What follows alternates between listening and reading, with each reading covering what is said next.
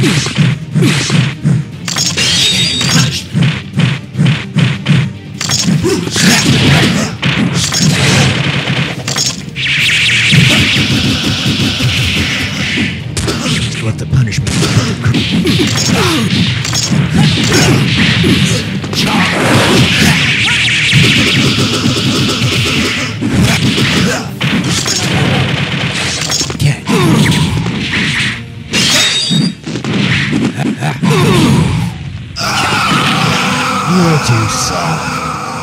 Ready, fight!